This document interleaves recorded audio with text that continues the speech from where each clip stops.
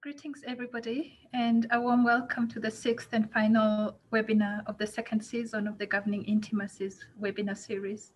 The first season ran from July to November last year and was themed Governing Intimacies in Lockdown.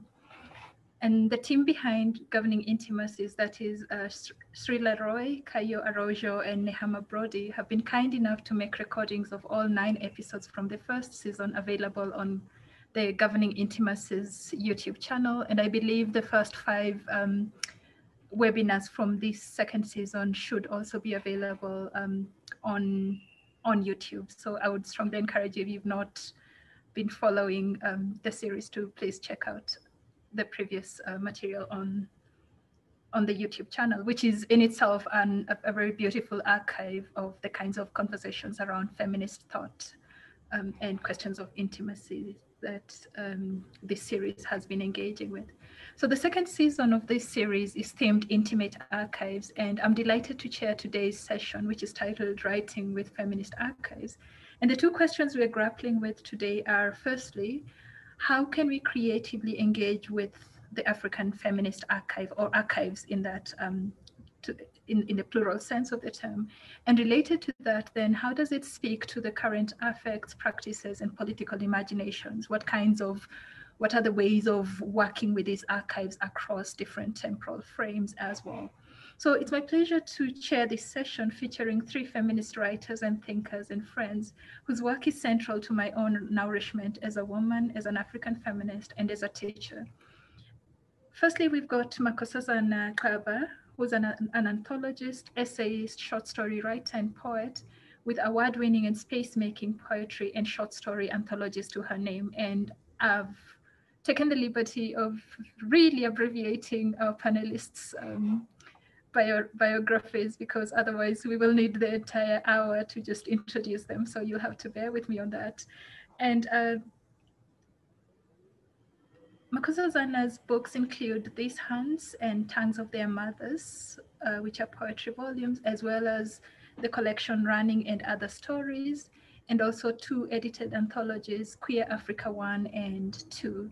And she's currently based at WISER at WITS, where she's working on an exciting project that is a biography of Helen Nontando Jabavu, popularly known as Noni Jabavu, She's also recently co-edited the volume Foundational African Writers, which looks at four writers whose who, uh, whose um, centenaries we marked recently, and these are Peter Abrahams, Noni Jabavu, Sibusiso Nyembezi, and Eskia Mphahlele. And she's co-edited these with Kwezi Mkhize and Bhekizizwe Peterson.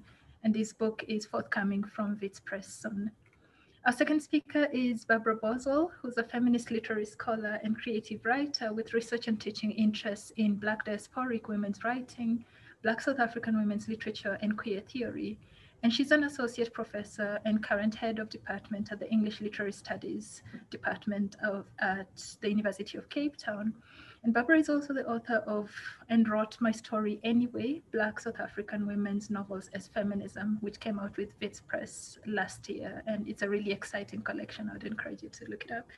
As well as her novel, um, Grace and Novel, which was a winner of the Johannesburg, University of Johannesburg debut creative writing prize. And she's currently working on a literary biography of Lauretta Ngcobo, our third speaker is Pumla Dineo who is a SARChI Chair in African Feminist Imaginations at the Nelson Mandela University. And her books include What is Slavery to Me, Postcolonial Slave Memory in Post-Apartheid South Africa, A Renegade Called Simphiwe, Reflecting Rogue, and most recently, Miriam Tlali, Writing Freedom, among other titles. Her book Rape, a South African Nightmare is a winner of the 2016 Sunday Times Alan Paton Award. And her latest book is titled The Female Fear Factory, which should be hitting the bookstores at the end of June, if I'm not wrong. And all three authors have also contributed to this exciting anthology titled, I hope you can see it on my screen. Yeah, and it's titled Surfacing um, on being Black and feminist in South Africa. And I would strongly encourage you to not only get the collection, which is edited by another pair of um, feminist friends and colleagues to all of us, Desiree Lewis and Gabeba Baderoon. And you definitely want to read um, their, their chapters in that book, as well as other colleagues' chapters. So the format of today's um, session is that each of our speakers will speak for 10 minutes in the order in which I've introduced them. And then um, I'll open us up for discussion with maybe a question or two, and then we can open up to the audience. So I'll hand over to you, Kosi. Except it appears I've lost Kosi on my screen. So um, shall I, uh, shall I, shall we um, probably start with you, Barbara, if you don't mind? Right. I think we might be having connectivity problems.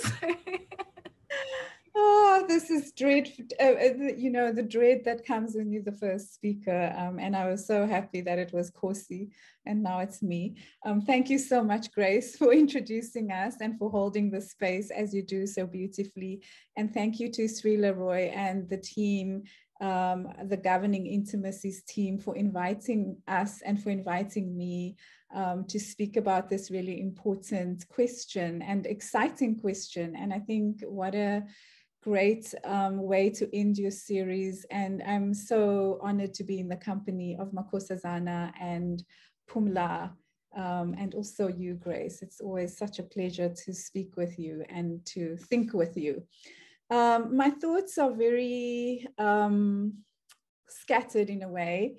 And I'm going to really be posing rather a set of questions or provocations than providing anything concrete because I'm thinking through a lot of questions about the archive and what, what it means to be a feminist, what it means to be an African feminist, uh, engaging and working with the archive in my own research so I'll start with really my point of departure. I've, I've drawn very much in writing my own scholarship, in doing my book and wrote my story anyway, which looks at Black women's literary production and novels as feminist theory. Um, I was guided very much by the work of Yvette Christianse, who is one of the writers that I write about in the, in the book. Um, and Yvette Christianse, of course, is the author of a amazing, wonderful, deeply complex novel called Unconfessed, which is about slave histories in the Cape and based on the true story of an enslaved woman, Sila van den Kaap, who Christianse writes about in her academic work, in her scholarship. Um, she found traces of this person's story in the archive at the in Roeland Street in Cape Town, where I'm sitting on this rainy day. And, um, you know, the only word that she found, it was a fragment. And she talks about the fragments in the archive that we, as scholars who are coming from the margins, whether we are Black um, women, queer, our histories have not been documented. Um, we do not exist in official historical records, and how we can go into those archives, read them against the grain, and collect fragments through which we can construct um, alternate histories. And this is not a new idea. Um, it, it, you know, there are lots of scholarship around this issue of the fragmented um, archive and how we, as um, oppositional knowledge producers, if you will, can utilize those tools. Um, I also think about the idea of the scattered archive, which I came across in Pumla Dineo Gqola's recent book on Miriam Tlali. And she writes a beautiful um, summation of this idea of Tlali's work as being a scattered archive. Tlali, of course, um, is also a, a, writer that I work on. And we know that some of her work, we, we, I visited her house, Pumla visited her house. She had a study with lots of documents and um, they were uh, in a bit of disorder. Um, we know she buried some of her manuscripts. We know some of her manuscripts were stolen by academics from Europe who came and were interested and seduced her in a way, saying, We want to write about you, and then took her work and never returned it. And she was angry and heartbroken about those works. And we know that police also seized her work. Um, she told me a story about arriving from the workshop in Iowa and having written there and having to smuggle off her writing to an American citizen on the plane when they landed in Johannesburg because she knew that the special branch was waiting for her to confiscate all her writing. And, and what that means for producing an archive um, when you are so harassed um, and so persecuted that whatever articulation you make um, is liable and likely to be seized and destroyed because it's so dangerous so these ideas, the, the fragmented and the scattered archive. Um, and then um, I, have been I've been sitting with these ideas and very much seeing myself as a scholar in this tradition of working with the scattered and the fragmented archive. And the questions that animate me are is, is really, or the question rather, is how do we alchemize and what do we alchemize from these scattered archives? Um, I think of myself as a decolonial African scholar. Um, whether I succeed in that, I don't always know if I do in producing work which is in, in, along that trajectory, but this is what I'm aiming for. And the fragments of the archive and the scatteredness of the archive, I see it as one of my tasks as a knowledge producer to, to bring some coherence um, and to alchemize something out of this that will um, intervene into dominant discourses and produce new knowledge um, from a subaltern standpoint. So, so there I was feeling happy and a little, maybe a little bit smug with myself as yes, I have this figured out. And then we have the 18th of April when the library at the University of Cape Town, where I work, um, burns down. And forgive me, I may get emotional. Um, I was attached to the space. Um, I loved it. Um, I see myself as, like many other people, having a very complicated history with the University of Cape Town. And this was one of the spaces where I actually felt fully part of it, one of the few spaces in the university. I worked there a lot. I used the um, collections. I found the librarians to be extremely helpful. And then I had a conversation with a younger feminist. Um, and I'm saying younger, not to foreground age, but because I think these intergenerational conversations are very important. And her name is Wanelisa Xaba. And I'm going to read the opening paragraph of something that she wrote when the archive burnt down. Um, and she writes about the body as a moving ancestral archive and writes about this in Culture Review as prompted by the fire at the University of Cape Town, or rather, I'm quoting Xaba now, Wanelisa Xaba, by my disappointment at Black people's response to the fire that destroyed Indigenous archives at the African Studies Library. As I waded through the collective Black middle class despair on my social media timeline, I was overwhelmed with anger, primarily anger that those archives were imprisoned in one of the most violent and spiritually dark institutions that continues to manufacture Black misery. Um, this is the, these are the opening words of an essay that Wanelisa Xaba wrote. And subsequently, we've had um, a conversation in person, the two of us, and she expressed again i'm i was one of those feminists that she was disappointed in about why were you crying about the loss of this archive which was produced in this um, violent way which is there because of these violent seizures. And um, she thinks about it as almost imprisoned knowledge that people don't have access to. Um, so people in langa people in Elsies River for example um, who, the, the, the average person living there, um, trying to make life there, what do they know about these knowledge circuits and these spaces? And do these spaces exist for them? Even though we know that that particular collection was open to the public, anyone could come in and work there and work with it. Um, so we were having conversations about this and at first, you know, there was a lot of resistance. And then I thought about myself as an older feminist, again, not to foreground age, but there seems to be a need for an intergenerational conversation um, between older, for want of a better word, Black feminists um, or African feminists and, and a, a new generation. Um, and I know that Xaba is part, was, was forged, um, her feminism, and I don't want to talk on her behalf, within the student movement of the 2015s, um, starting in 2015 onward. And a lot of, I think, um, important feminist voices have come from that movement. And I think that we, uh, as more established in the university um, or in spaces of publishing need to listen. We need to have a moment of actually really taking seriously what these feminists are saying about these archives. And so I suppose my provocation really is, um, and it's a question that I'm not, that I haven't answered for myself, is how do we, um, if we're in a process of rebuilding an archive at the moment at UCT, and if there are ways in which we can have these conversations between generations, between people outside of the university, between knowledge producers who do not have access to that space, um, historians, writers, people who are telling stories, who are making stories, who are making life outside of the university. And how can we, at this particular moment when we are reimagining the archive, and yes, so much has been lost, and we're grateful for what has been saved.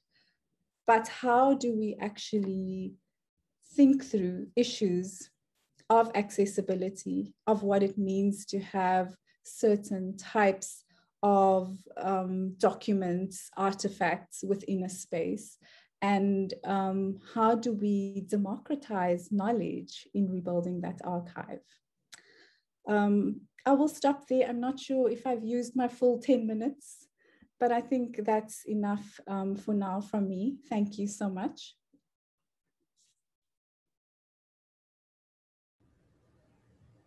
Thank you so much, Barbara. And I think that's an excellent um, way to launch us into this conversation. And in, in a little time, you've really taken us through a whole range of questions and concerns around working with archives, around um, fleshing out the traces that we find in archives and what that enables, but also around the implications of loss and lost archives, but also losses that precede the loss of certain kinds of archives that in a way um, what what what Wanelisa Xaba was telling you um, if I'm hearing her correct them correctly is that those archives at UCT were lost to some people even before they got lost to the fire.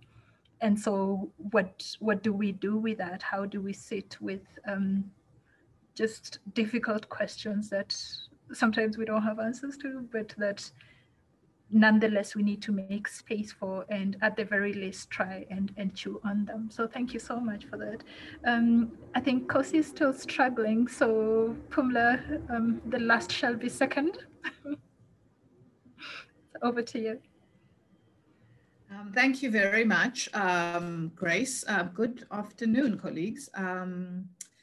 Thank you, Grace, for that incredible contribution um, and framing of, of, of what we um, are here to talk about today. It's actually um, always so wonderful to listen to, to, um, to, to both you and, and, and, and Barbara. And I think that um, certainly so much, because so much of my thinking around archives is in conversation with, with, with, your, with, your, with your own work.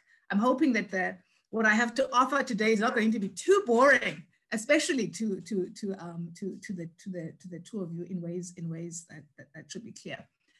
Um, thank you very much to uh, Srila and Kayo and Eurisha for convening this space um, as part of this incredible series. Um, I haven't been able to watch all all of them, but I've certainly been watching many of the of, of the seminars in the in, in, in the in the in the in the series um, on the YouTube channel. Thank you for convening this space thank you, Barbara, for, for that, for that, um, for the ideas that you, and the, and the challenge that you pose in the, in, in, in the presentation that, that, that precedes um, mine. Like um, Barbara, I am going to offer a series of perhaps less provocations and more struggles. Um, and I'm going to do so for the purposes of today, because I only have 10 minutes, thankfully, um, to, I'm going to do this through, through some of the questions, through some of the battles I'm having in, in, in thinking about um, Miriam Tlali and the, and, and the archive. And I'm thinking about Miriam Tlali and the archive, um, Miriam Tlali's archive, Miriam Tlali and the archive, Miriam Tlali and the apartheid archive, Miriam Tlali also as the archive that is a South African literary um, canon. So let me just get to it then. So I'm not presenting a paper. I, am not. I'm, I'm, just presenting a few um, areas of, of, of difficulty that I am um, confronting currently in relation to this work. So until recently, Miriam Tlali's position in the South African, in South African, within literary studies, she certainly cannot be said to have suffered in the novel which catapulted her to that state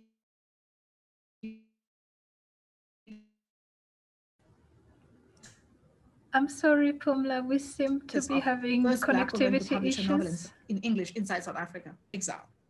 Sorry, Pumla? In South Africa. Um, uh, Pumla, I'm sorry, we, we, we, we didn't catch the first bit of what you said like a minute ago. So, um, but what we're going to do is I'm going to ask uh, Kaya and myself to go off video in the hope that that will help your connection. Sorry. Okay. So I'm not sure if, um, so can you signal if that is, um, is this better? Okay, should I start again? I'm not sure at which point. Um, so we lost the, you about the, a minute the, the ago. Connectivity issues um, came. Mm, about about a okay. minute ago. So um, Okay, so I'm, I'm speaking about um, Tlali's position and positioning in, in, in, in the South African, in the archive of South African letters. And by South African letters, I'm referring to both um, the way in which we think about the space South African literature, um, the way in which we critically engage with what is the canon of South African literature or the borders of, of the boundaries of that, of that, of that canon. And um, I think that it's important to note that um, Tlali's um, position is not characterized necessarily by something we might call neglect, that there are different patterns in engaging with and in thinking through and in writing about and teaching Tlali's work that we see in, in, the, in, the, in the South African, in the South African, in the South African Academy in different ways for, different, for, for, for, for, for, for scholars differently located, both in terms of kind of generation, loosely defined um, in, the, in, the, in the academy, so not calendar, not, not biographical um, generation, but generation in terms of entry and positioning in, in, in, the, in, the, in, the, in the academy, um, as well as, of course, uh, the kinds of um, organizing ideas that inform scholars of, of, of Tlali. So for example, in, in, in, in the scholarship of early predominantly white literary scholars like Dorothy Driver, Margaret Daymond, Margaret Lenta, Cheryl Lockett, Cecily Lockett, and others, um, we see a reading of Tlali as a Black woman writer engaged in the project of imaginally working out the meanings produced by the intersections of history, race, and gender in, in, in academic publications and interviews. So this location then of Tlali as someone who is important to the archive of thinking of thinking gender, the connections between gender, race, history, and writing, and, and, and, and the imagination. In um, those of her contemporaries, sometimes contemporaries who are also literary scholars, um, like Njabulo Ndebele and Mbulelo Mzamane, engage with Tlali in literary, uh, engage her literature in ways that complicate both her representational repertoire, so how she writes about things in her fiction, but also where to locate her in the archive of South African um, literature and South African Black writing and, and, and so on.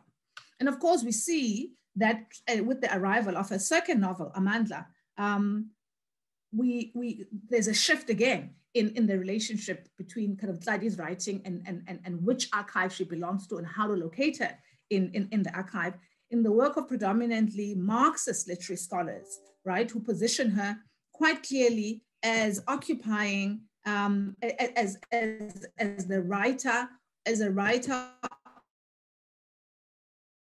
of one of the most important um, body of novels that imaginatively, imaginatively revisit the 1976 uprising. This deliberate positioning of Tlali's prose fiction as both an integral part of how literary scholars think about Black women's writing, writing gender and feminism, protest literature, resistance literature, Soweto literature, Black South African literature matters in more than one way in constructing her place in literary critical terms.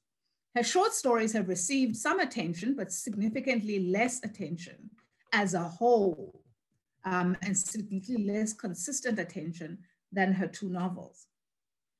Now, now Barbara Boswell's work on Tlali, of course, further complicates this received knowledge um, and this tradition of, of writing about Tlali that we, that, we, that, that we are all inheritors um, of. So the constitution of this archive um, and, and, and, and, and of the Tlali archive, but also the, the, the location, the relocated, the constant shifting locations of Tlali within the larger um, archive of South African of South African letters. Boswell's work in different, in different ways challenges us to think about the meanings attributed to her work, as well as the work that Tlali's writing does, what it creates, how it creates an, a certain archive, um, how exactly it theorizes. In um, Boswell's work and mine, we've also given some attention, of course, to the, to the sometimes difficult um, construction of Tlali as first, right? So complicating it in ways, in ways that, that, that, that some other scholars in the South African context of archive have often spoken about um, the work that archives do. So for example, in the introduction to um, a book, uh, Refiguring the Archive, Carolyn Hamilton and her colleagues invite us to think about the ways in which archives also construct, sanctify, and bury pasts. And I think we spend considerable time looking at how archives construct and, and, and, and, and perhaps bury pasts. But I think part of what um, Boswell, Barbara's work, um, Boswell's work invites us to do is to think about and, and, and hopefully some of my more recent work on, on, on Tlali thinks about what it might mean in the work of sanctifying, so the first. So there are many ways in which we can think about Tladian archive, some of which I've touched, I'm touching on very quickly. So I do not then have a quarrel with the attention she has received in literary criticism. Again, the word here is not neglect. Rather, what is what I'm struggling with in my own work currently is how to tease out rather than trace the ways in which to think about Tlali and archive simultaneously in itself is in itself generative work in relation to existing work, in addition to the canon and some of the effects of the bulk of the attention being devoted specifically to her prose fiction. So the question then is, what does it mean? And how does paying attention to Tlali's work as archive and thinking about the place in that archive of her much more plentiful nonfiction, sometimes creative nonfiction, and most recently, um, her plays, only one of which we have access to, complicate this idea, these relationships, these received um, relationships, these decades old relationships, then that we have come to take for granted around who Tlali is and the relationship of Tlali to the, to the South African Literary Archive, to, to, to receive notion, to, to kind of, um, um, to, to thinking about gender and South African um, presence and pasts, but also um, it, it, it, the larger canon then of, of, of, of, South African, excuse me, of South African, of South African letters. Um, in, in relation to this, then the question of what to do with, if, if figures very much as a writer of prose fiction and the bulk of um, very um, complicated and proliferating um, reception to her pays attention to her fiction. In what ways might what we think about the relationship between um, Tlali and the apartheid archive, um, Tlali and the feminist archive, Tlali and various intersecting archives be complicated? When we think about when we think about the scattered archive, when we think about um, Tlali's plays, as I said, um, one of the plays, um, although Tlali spoke often in interviews about having written two plays, um, these two plays and, and, and, and both plays have been performed at Yale and at different institutions in, in, in, in, in the Netherlands. Until recently, we have not had access to, to, this, to these archives. And in fact, um, the access to, to, uh, to these plays, rather, access to one of these plays is um, enabled for me and hopefully for um, all of us through an accident of fate in many ways, um, where Ali Hlongwana, who I'm now grateful to um, remember, Ali Hlongwana um, provides me in a, in, a, in, in a social moment um, where, where, where, both he and I are attending um, um, this, a theater, a theater performance with a manuscript of Tlali's, until that point, lost manuscript of, of um, Crimen, Crimen in, in, in, in Juria. And of course, as we tend then, as we read this play, which is a play that's included in, in, in, the, in the HSRC um, volume that I wrote and edited, um, Miriam Tlali, Writing, Writing Freedom. How might then this new availability of Tlali's play complicate this idea or how we think about Tlali? How might we think about, um, so in one sense, and it seems to suggest that now that we have this play, um, we're able to do, we have the opportunity and the capacity to engage and rethink what Tlali's archive is. However, when we think about um, the much more substantive in terms of quantity, amount of work that Tlali produced, published work by Tlali that um, takes on the form of creative nonfiction, sometimes called a column um, in, in, in Soweto, Soweto um, speaking, um, in her, her plentiful essays that she wrote about and against censorship and about uh, some of them autobiographical essays on the state of writing and the harassment of writers in South Africa, some of them specifically around censorship published in South African literary magazines, as well as magazines such as, such as Index on Censorship published elsewhere in, in, in, the world. Seems to me then an opportunity to think not only about Tlali's work in terms of incompletion, but in ways that also um, connect to what Barbara uh, Boswell was saying, was arguing for as she spoke before us today, where she references archives in terms of fragments, what to do these fragments. Barbara Boswell, of course, speaking there um, through, in part, through Yvette Christiansen. And of course, I find incredibly useful um, and draw deeply in my thinking about Tlali and other feminist archives from Nontobeko Ntombela, the art historian's notion of the scattered, um, of the scattered archive, um, in, in thinking about those parts of Tlali's work that we do not have access to because we simply, um, it might still be buried in a garden, um, the stolen manuscript and, and, and, and so on. I'm also thinking through what um, Sarah Nuttall highlights when she reads through what she calls the excisions that are implemented when Tlali's manuscript, I Am Nothing, gets published as Muriel Metropolitan. Um, some of you will remember, of course, that Muriel Metropolitan is the is although it's the first novel and it's and it's Tlali's entry into literary publicness, it's a novel that also she is incredibly um, ambivalent about. And, and, and, and, and a title that she is, the content of which, the size of which, the editing of which, um, and the titling of which she's incredibly embattled. She refers to two preferred titles, I am nothing, and between two and between and between two worlds. So it's not simply what gets taken out as text, but also what becomes impossible when the framing changes so significantly.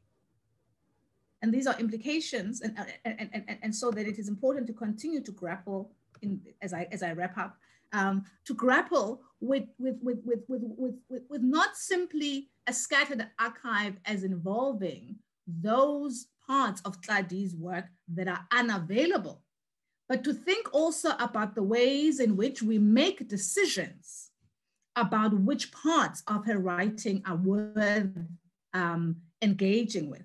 Um, some of which of course reveal our own internal as a discipline, as, a, as disciplines, as feminists who do interdisciplinary work, our own anxieties about how to read, um, how to read um, in repertoires that are not that are not the, the, the, the, that are not the fictional modes that perhaps we are most comfortable with.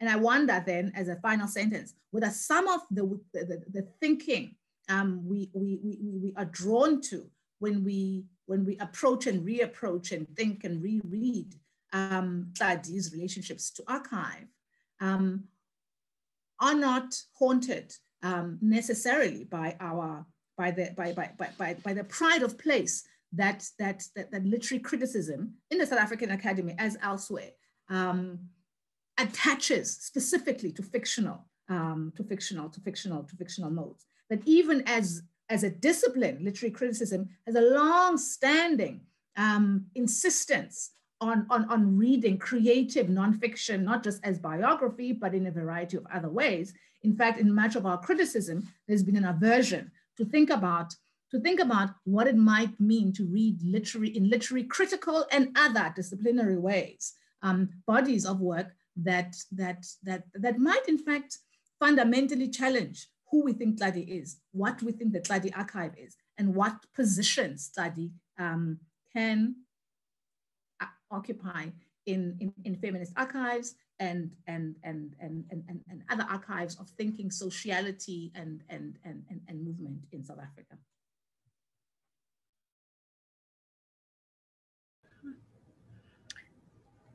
Thank you, thank you, thank you so much, um, Pumla. And I think your, I like how you uh, both both your, your your comments and and and Barbara's in a way um, dovetail very nicely because you're you're both approaching the question of archives as inherently qualified in in in different kinds of ways, whether they're fragmented, whether they are um, scattered, whether they're alienating and excluding or lost, as I said earlier, from even before they're, they're, they're lost in the um, in a literal sense.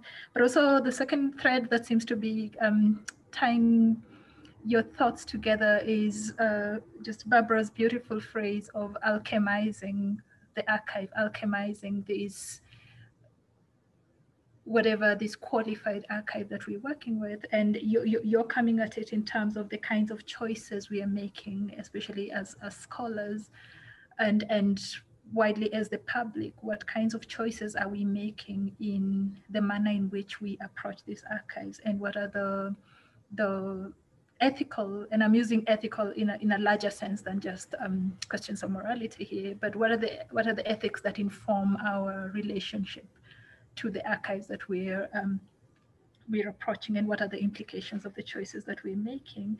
Um, so as, as, as, you're both speaking, I, I, I, kept thinking also around the question of creative creative writing, imaginative work, not just writing, because I think you both are also interested in multiple genres beyond um, the conventionally literary, um, but creative work or imaginative work broadly as practices of archive making and archive building in themselves. And I think with with with the both of you, both um, but the kind of work that both of you have done on Miriam Tlali, but also the kind of work that, um, for instance, Pumla, your, your, chapter on uh, Goliath's um, artwork in the surfacing volume, and Barbara, your just your entire engagement with Black women um, writers. But for me, what what stayed with me in your book is your engagement with with, uh, for instance, somebody like Zoe Wicomb and how she's able to use fiction to actually counter um, the TRC's official attempt to completely mute or excise, and again to use that completely violent term, to but deliberately so to excise sexual violence and experienced by women as part of the, the, the human rights violations that were legible to the TRC. So she's able to use fiction to address this excision within um, the, the official um, engagements with the traumas of apartheid. Uh, I've got a whole lot of questions flying all over my mind, but I see we're not, we don't seem to have um, Kosi back on the line, which is such a terrible shame because uh, I think I would have loved to hear and would all have loved to hear her thoughts um, around these questions. Uh, perhaps for me, just two or three comments and you can decide what to what to respond to or not and then we can move on to, to the Q&A. Uh, the first relates to questions of opacity and it's, it's a selfish question because I'm interested in, uh, in the question of opacity and related to that, I'm coming at it then in relation to privacy. Um, and I wonder whether in your work for the both of you working with archival material, how do you have there been instances when you've made choices that were about preserving the privacy of the subject you're engaging with rather than um, in other words i think when we think about archives we, we we we tend to depart from a point of the need to know is it's it's an absolute need that people need to know about you know lives and experiences and periods. But are there are there are there times when archives need to be suppressed or to not be circulated? And and what are the implications of that? And then my, my second one relates to what you said barbara about and which was really moving for me that your the loss of the of, and the damage of the UCT library was at one level the loss of the actual materials there, but at another level it was the the the, the loss of particular affects.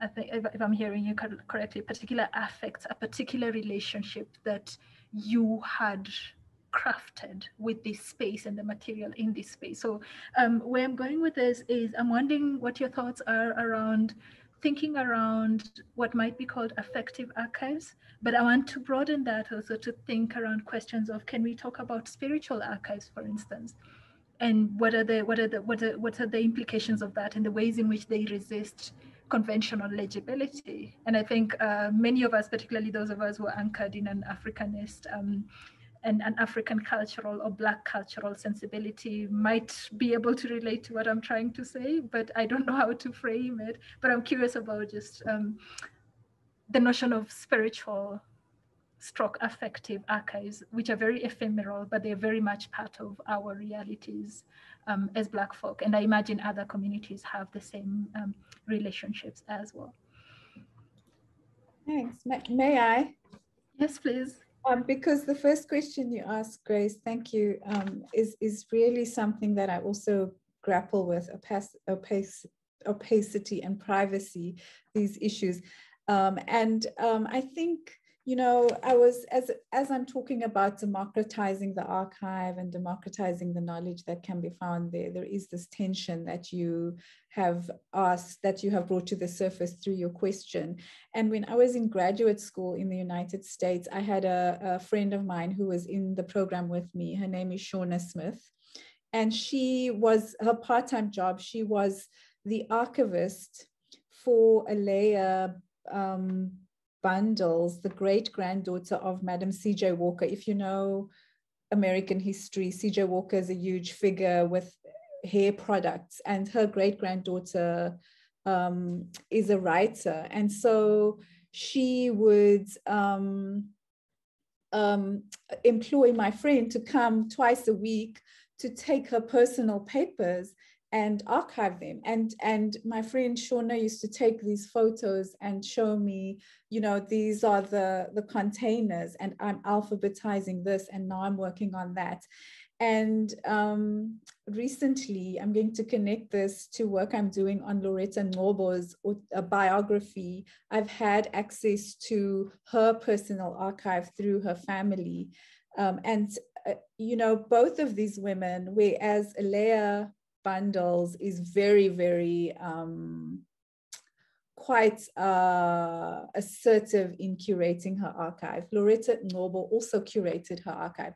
And there's a way in which um, I also had another conversation. I'm just drawing on all these threads um, with with Shanna um, Green Thompson, a scholar in the United States, where she was talking about Black women specifically, what they put out in the public domain is very, very much curated and thoughtfully presented because um, we have to think about our reputations and how this might read to others and what things that cannot be made public because already we exist in a space where our lives are seen as less valuable, um, where we are laboring under stereotypes about what it is to be a Black woman, whatever that may be, the imaginary that positions us in certain ways. So these are two writers, A'Lelia Bundles and Lauretta Ngcobo, who were very, very conscious and self-consciously creating the, the archive. Ngcobo was very conscious about what she was leaving. She was conscious about her mortality and, and what she wanted to leave once her body was gone. Um, and, and so the, the question then of privacy um, does come up and what do you, um, what do you, as a, as a researcher, you finding stuff what is what is put out in the public domain? What is your responsibility? What what are the ethics of making visible some of these things? I think of myself and this is a question i have for pumla also i'm a writer. I i have in my will instructions for certain sets of documents like these need to be destroyed these need to be can be saved because i you know at some point in the future who knows what might be of value to someone else. But there are certain things that I would absolutely hate to have in the public domain, which are very present in my life at the moment. And so, I mean, I think part of this is where feminist community is interesting because a, a few years back when we were writing those chapters for surfacing, which you reference now, I have a personal letter from Miriam Tlali where she wrote to me after I sent her my PhD dissertation and she was giving me um, feedback and praise. And but there were other things in the letter. And i shared this with i actually phoned pumla and we had a long you know hours long conversation on the phone. And i said I wrote this essay for surfacing. The editors are saying my own personal self is completely absent and my relation to Tlali, I should write about that more. And I thought, here's the letter. And it, it, it presented me with an enormous ethical dilemma. And then Pumla said, you know what, Barbara Boswell, when you die one day, that letter is going to go into an archive and someone else is going to write about it. So, you know, to help me think this through, uh, how, you know, how can you write about it in a way that um, is not exploitive, it does not perpetuate some sort of outsiders gaze on Tlali. Um, she wrote you this letter. She meant for you to have this information. She knew who you were. She knew you were a scholar and you were publishing work. So therefore, you know, make do with that, think about that, think through those issues. And, and um, so, so I think what is helpful in thinking through those issues of privacy and protection and also what Shanna Thompson calls my, her own loyalty to her craft as a researcher, her profession. So are you bound as a researcher to reveal something that, you know, uh, the, these are questions that we, we, we really have to grapple with. Um, and I would argue there are moments where you, where you arguably you shouldn't and this is where my community is helpful because I, I can actually sit and talk in confidence with a few people and say what is the right thing to do here? Um, and and and i think that is a really helpful way. And and i'm drawing on these resources like the living archive perhaps of pumla's knowledge um, to think through what is my ethical what is my responsibility here? Thanks Thank you so much for that, Barbara. And I think what, what you're also taking us back to is our ongoing involvement in archive creation that I think sometimes we tend to think of archives as something that is, you know, behind us that has that's long in the past but actually even this current conversation is part of archive building and so it's about the extent to which we make choices around even what is possible now that might be possible differently 10 years from now as as, as Pumla was telling you about um, in relation to the letter but um, over to you Pumla so oh my goodness what a wonderful question um, and what a difficult question. I mean, I think I'm just listening to Barbara and I'm, um, I, yeah, absolutely. I mean, I think that, um, and of course, I think this, I, I, thank you for that question, Grace, because I think that it is uh, this, this, this kind of I, relationship between, between opacity and privacy in, in the, in the, in the, in kind of archives and, and, and in, fem, in, in, feminist engagements with archives, which are not always the same things, right? I mean, feminists engage with archives in a, in a variety, in a variety of, of, of ways because we're so um, differently situated. But I must say that uh, one of the most, one of the things that are perpetually present in my brain, not just in my mind, when I'm thinking about, um, it, it feels like a visceral presence is is I I I when I try to negotiate this um, relationship between what availability and unavailability, um, I I am constantly mindful of the words of of of, of five specific um, South African feminists differently um, located. Um, and, I, and, and I suppose of, of, of, of older generations.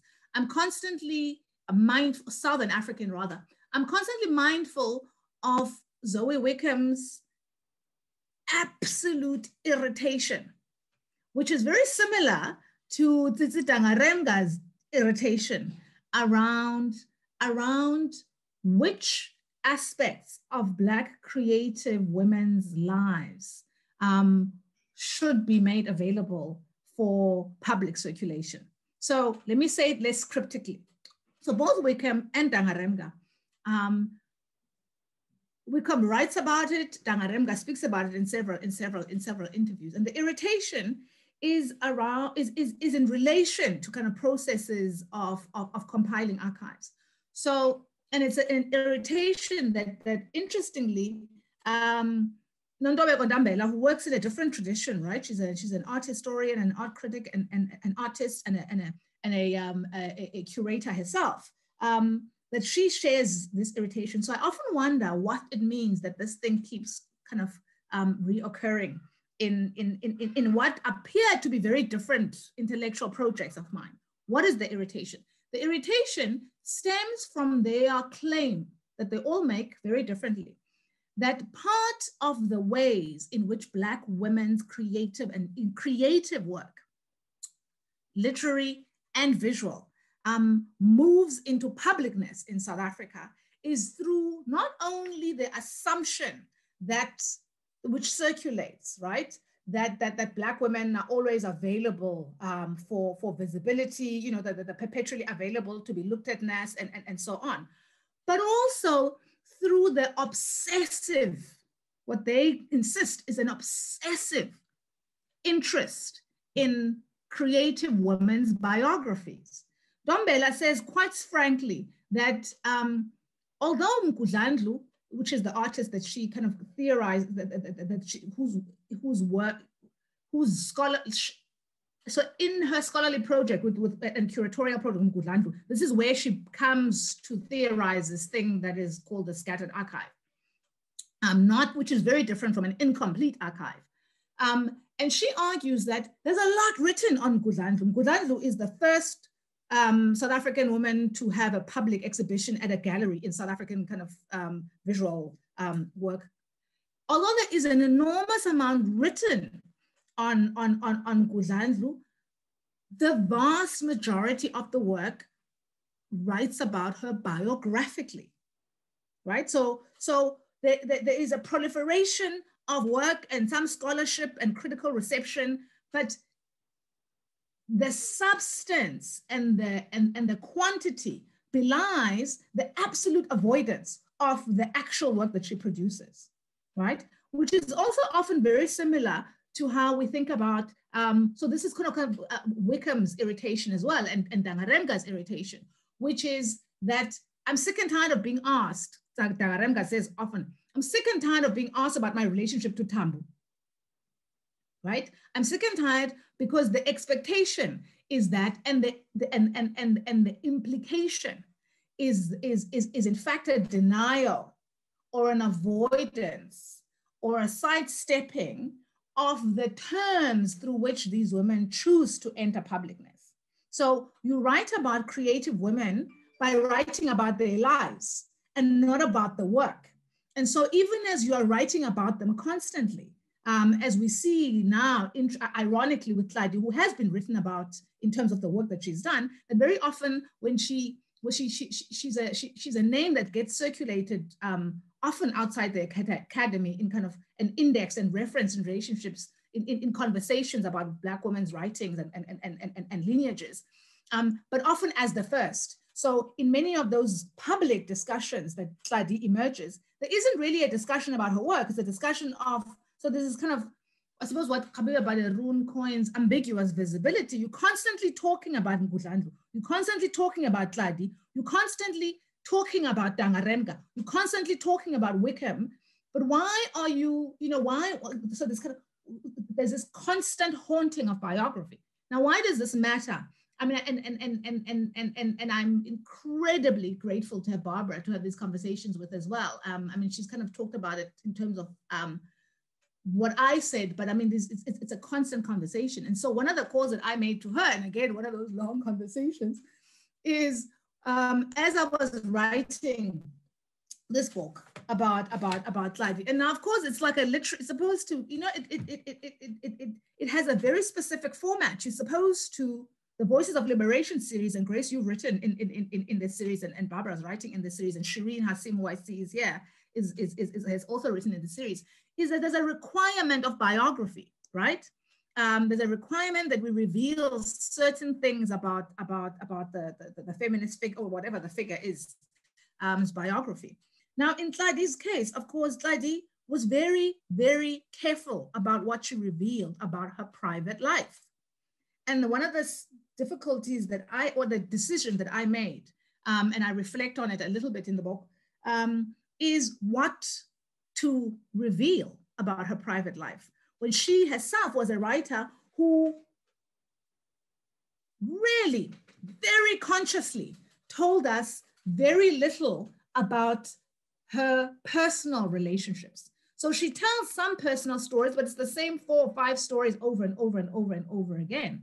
And so um, it seems to me then that this relationship between archive and opacity and, and privacy, opacity and, and, and privacy is, is, is, is a much more troublesome than we sometimes um, imagine. And it is one that I think that we have an entire, we, we have various um, um, kind of African feminist um, interpretations and engagements with, with, with, with, with, with what it means to think about, to think about productive, creative, intellectual um, African feminists in ways that that that that that that require, that demand privacy and a resistance. And so when Barbara says she has given instruction for some things to be to be destroyed, I'm thinking, oh my goodness, I'm going to copy that because and it and it and and I'm and I and I you know and I and I'm and I'm laughing, but I'm saying that in all in all in all in all in all in all seriousness,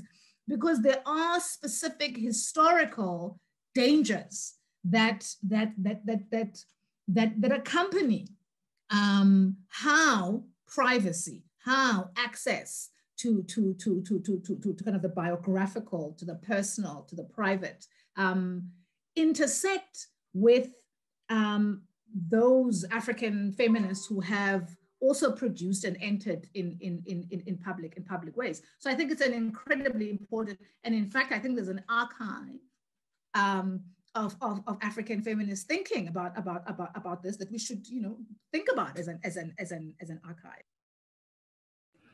Thanks so much, Pumla. And I think in a way, there's a whole lot. I think that that question in itself just needs a whole panel to itself because part of what the both of you are also speaking to is a certain centuries long sense of entitlement to Black people's and women's every single experience, right?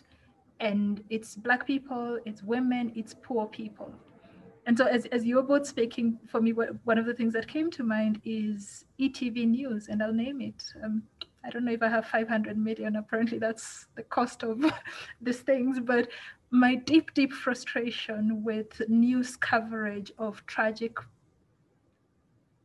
moments in South African um, public life. And yes, it's news, and yes, it's of public interest. But I've noticed a pattern in the ways in which poor Black people's tragedies are delivered live and fresh on screen this woman has just learned that three of her children have just been killed and there is a microphone and there is a camera in her face we never see that with wealthy black people. We never see that with white people.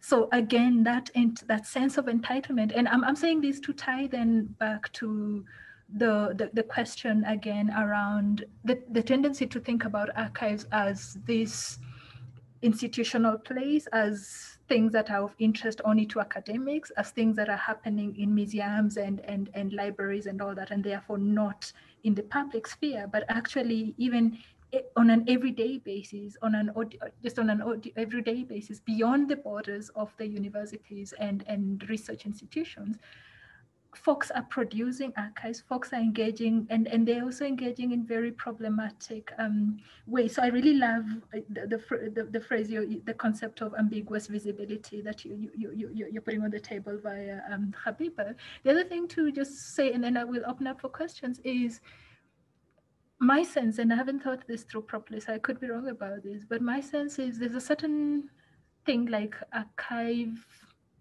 literacy that it's not enough that there's material that's publicly available. So access is not just about whether or not you are a, university, a UCT student or whether or not you have a card to the Johannesburg Library. Like, I mean, the, the public libraries are public and assuming we handle the questions of, of infrastructural access in the sense of, you know, transport and all that and literacy, they, they still uh, literacy in the sense of being able to read and write there's still another level of literacy that i think needs to be part of the conversation of access. So it's not enough to digitize it's not enough to make them open access it's not enough actually sometimes the opposite of that happens that you have this deluge of content out there which we we not we, we, we're not schooled um, again wrong choice but we're not literate in how to read it, how to work with it. And maybe that's a whole other basket of questions that we need to deal with. So um, at this point, I'll hand over to Kayo, and I'm hoping our attendants uh, don't mind us straying beyond our designated time a bit, because I think this is just such an exciting conversation for us to be having. So Kayo is going to give us the questions. We've got a whole lot of questions in the Q&A. So Kayo, over to you.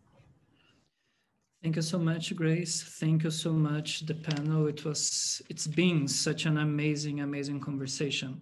We did receive a great number of very, very exciting and engaging questions. Unfortunately, I don't think we'll have the time to go through all of them. So what I did is that I tried to collate questions that are a little bit similar. So for example, a couple of people raised interesting questions in terms of generational tensions, which is something that has been raised by the panel. In particularly the question on whether or not there is a divide in terms how younger and older feminists think about access to the colonial archive or think about the colonial archive in general. In other words, what transgenerational mean in the context of South African feminism? Secondly, there are a couple of interesting questions also about what the archive actually is. How do we think about the archive? How do we theorize it? Is it as fixed as one may think, or is actually something that is quite con contingent and um, transformative in a way? So feminists are always producing archives. We are always producing archives in our research projects, but we still have to grapple with the question how to in, how do we engage different sets of materials? And in that particular issue, there is a specific, a specific question about how do we integrate fictional writings into our own readings and understandings of the archive? Is fiction a form of biographical archive? Is it, is it a way in which we can access undocumented histories? And the third question, and then if we have time, we'll go to another set of another set of questions. But the third question that I picked on has to do with digitization and access to these archives. Um, obviously, that is related to issues of democratization, of accessibility, and also to the question of, of whether or not digitization is an alternative to archival destruction, as you know, in cases such as the library in UCT. But then I guess digitization also raises a bunch of questions in ethical questions, questions about privacy as well, which is related to a broader under a broader concern on whether private lives are private and in what terms. So I guess let's deal with these three sets of questions and then obviously you can choose which ones you want to address because they are all very complex. So don't feel obliged to address all of these issues, but um, yeah, feel free to address what you want and then we'll go to a second round. Thank you.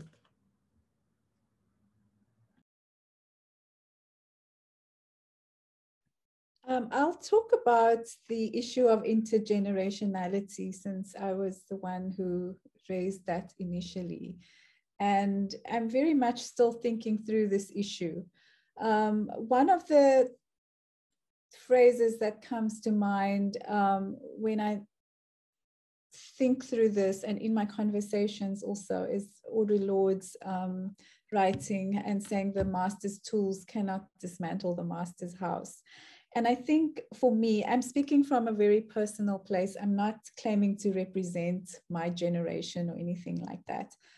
Um, what it what it meant for me um, to access the university as uh, someone who who came of age in 1990, the, um, because that was such a um, uh, uh, the institution was so um, inaccessible to me in my imagination as a child um, that when I accessed it as a young person, um, I perhaps was very keen to ma- to master it, to use a, a, a phallocentric, not phallocentric, but a male-centric term. I want, and, and I'm using that deliberately. I wanted to master the conventions of the university. I wanted to um, belong. I wanted to um, succeed there on the terms of the university, right? Um, and when I look at the generation um, that is writing now, um, perhaps a generation um, that, that, that is after me chronologically. Um, as I mentioned, a lot of these feminists were forged through the, the, the fallist movements. And there's a completely different relationship to the institution, um, which is that things need to fall, right? Things that, that don't serve us. And, and we can interrogate what that means but there is a way in which um, becoming being absorbed, becoming part of the institution that is institution that is untransformed is not um, palatable and not acceptable to these younger feminists. Um, they want to transform the institution on their own terms. And I think um, in thinking through issues of transgenerationality is that they are forging a different relationship to the archive, bringing it back to the question of the archive, to, to archives. When, when I think about, there's a question that I saw from Shireen, what, what is the archive? Um, I think of multiple archives and multiple locations. And I want to be able to travel from the one to the other and work with one to the other. Um, and, and for example, again, my training as a graduate student in the United States, I did a semester long course on archival research with a historian and a historian of African American history who taught us how to physically go into the archive uh, into whatever archive you, you choose um, or an online archive and, and find things. So I wanted to really understand it. I wanted to know the conventions and I wanted to work within those conventions, perhaps, even though I'm working against the grain, if you will. Um, my sense is, and I don't want to again speak for others, is that there's a new relationship emerging um, with people wanting to completely transform it. They, they perhaps do not, um, I, yeah, let me stop there because I don't want to speak for other people. Thank you.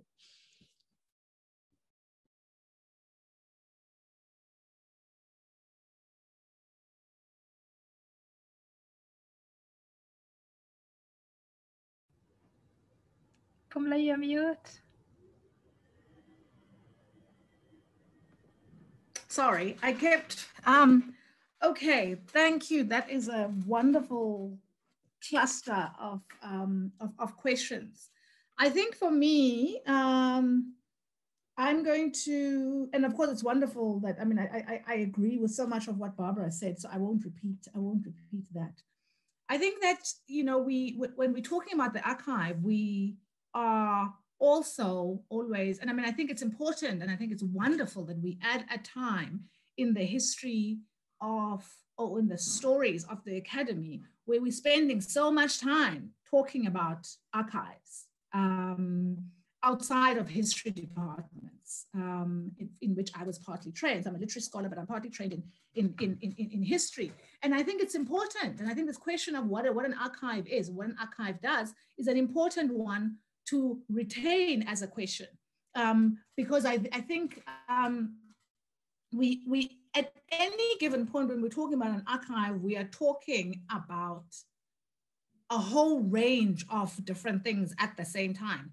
And I don't think that this talking about a whole range of different things at the same time is, I'm, I'm, I, yes, it can be a problem, but I'm talking about it, I'm, I, I'm, I'm, I'm, I'm highlighting the way in which um, that consciousness and that deliberate speaking about it as different things at the same time is in fact productive and generative and useful and, and, and important for the kinds of conversations that we're having.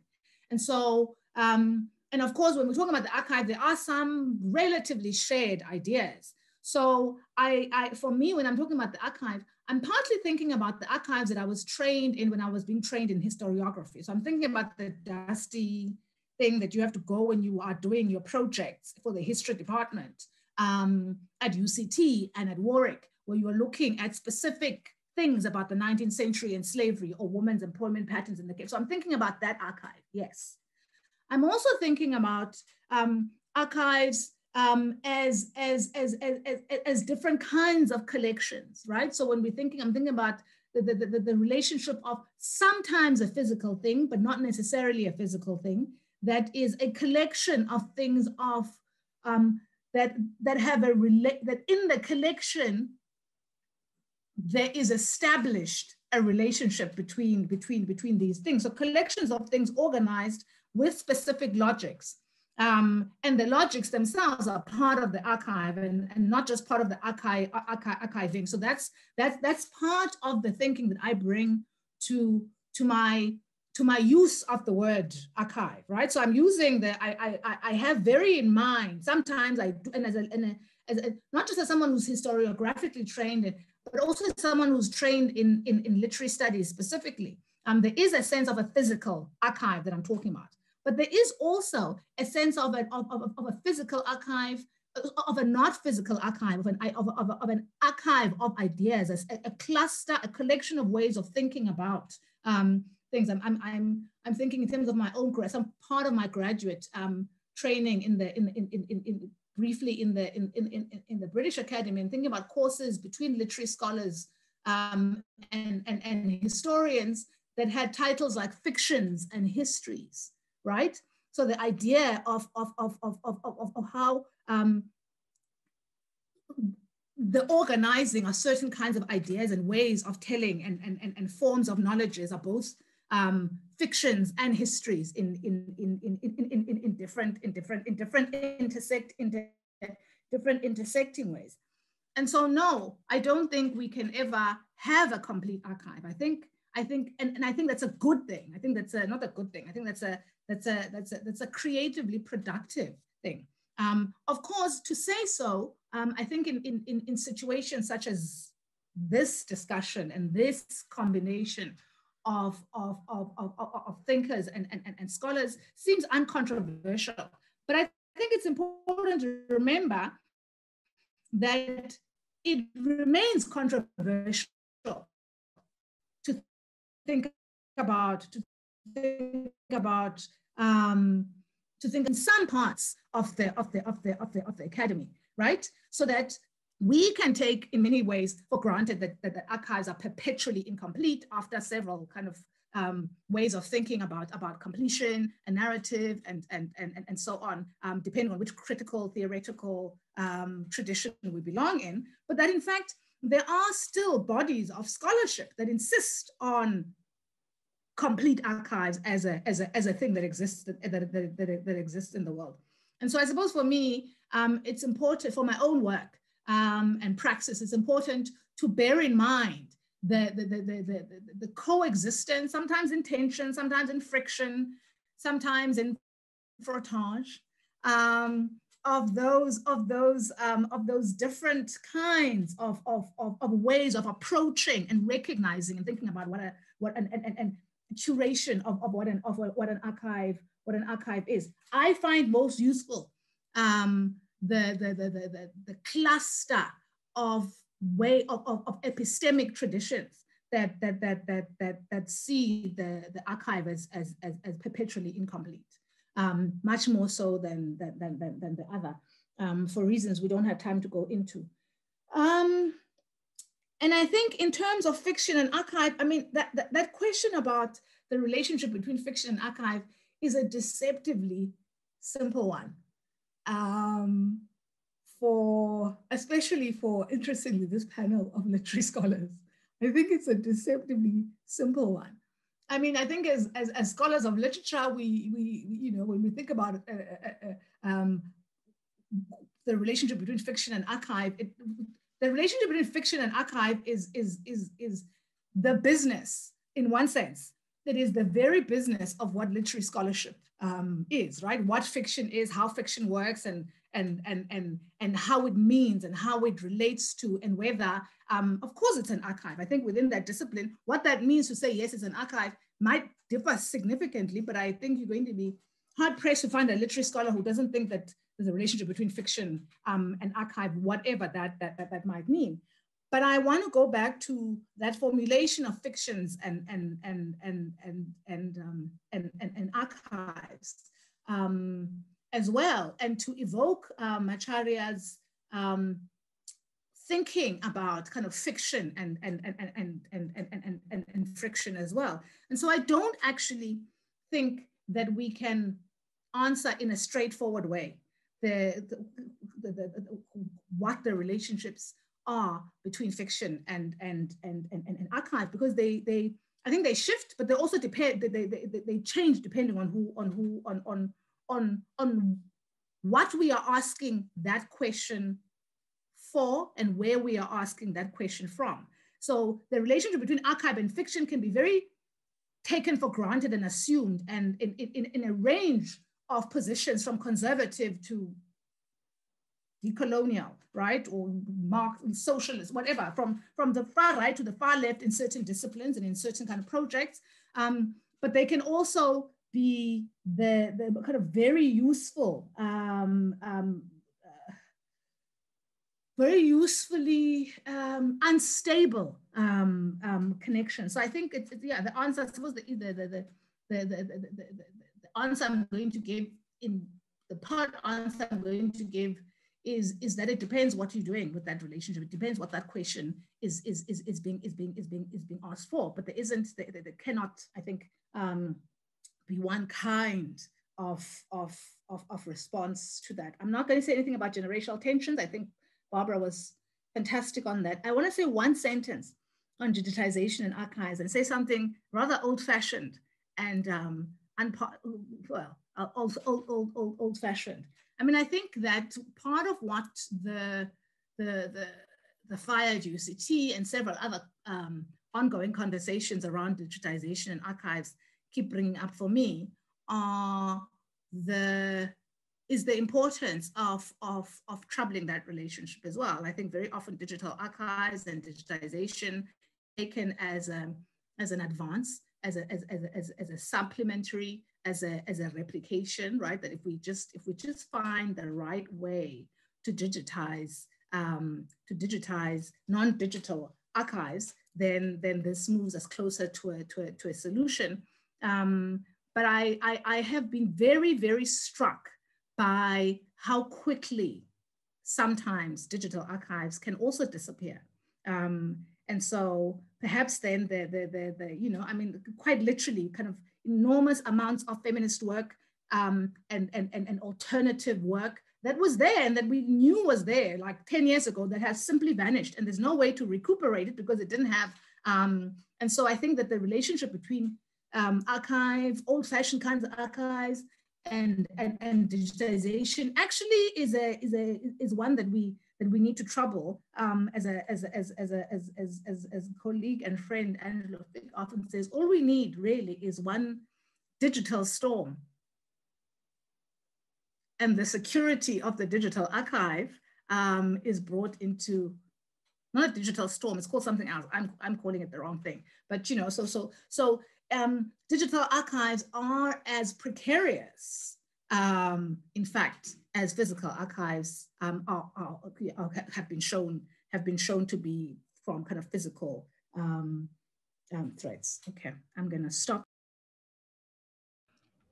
And Pumla, I suppose also, so there's so many embedded assumptions that go with the word archive that one one is constantly have to strip away before we actually now get down to the work. And something as simple as the, the working assumption that um, that archives, especially print archives, but also just record records broadly, are stable, right? That they travel across time in a stable manner. But actually, when we think about it a bit more, they aren't. They they they accumulate all sorts of traces along the way depending on what happens across time and you know social cultural and political dynamics that the same material if we were to access material certain material in 20 in 1921 that same material accessing it now we as well as that material both sets of, of us have accumulated all sorts of debris and stuff right? That by the time we are coming to it there's just it's a different we will arrive at a, we will meet a different archive and we will arrive at different interpretations. Because we, we so archives themselves also change no matter how stable um, they might seem. And for us as literary scholars just basics folks who reading things fall apart in 1960 reading things fall apart in 2021 what is it doing? What's the relation? So there's a whole i think there's a whole lot that, that that's also happening there that um, yeah but anyway um, I'm getting the, the sense from Kayo that we have time for one more round of questions. So Kayo, is that correct? No, actually, I think we are really approaching okay. our uh, Oopsie, our sorry. very our very limit. But you know, I think the debate has been so so great. Even if we couldn't go through all the questions, it has been extremely fruitful. Okay, thank you so much, Kayo. And I'm, I'm so sorry we couldn't get to the rest of the questions. And I would strongly encourage colleagues to just have a look at the questions at the very least. They just so rich and exciting. And I'm a firm believer in reading all the questions, even at conferences when time has run out. I insist on, you know, folks should hear the questions, even if we won't answer them. But in this case, you've had them on the chat. So please have a read if you haven't. And um, I'll then hand back to, uh, before I hand back to Kaya and, and Srila, I just want to say a big thank you to Barbara and, and, and Pumla. And I'm so sorry we didn't get uh, Kosi, but I'm hoping that's a sign that we need to have another similar arrangement sometime in future, um, inshallah. and then we can continue these exciting conversations. But thank you very much to the team behind Governing Intimacies. And now I'll hand back to you. Maybe you have closing remarks on what next, what can we look out for, etc. So thanks. Thank you so much, Grace. Thank you so much, Pumla, Barbara. This, this has we couldn't have wished for a more exciting panel to end the semester with. And I just wanted to say to everyone who's still here, our attendees, thank you so much for joining the webinars throughout the semester. And please stay tuned to the Governing Intimacies website and our Facebook page because we'll be soon publicizing the schedule for the second semester. So I think that that's it. Thank you again, the panel. Thank you. Thank you very much, everybody. All right.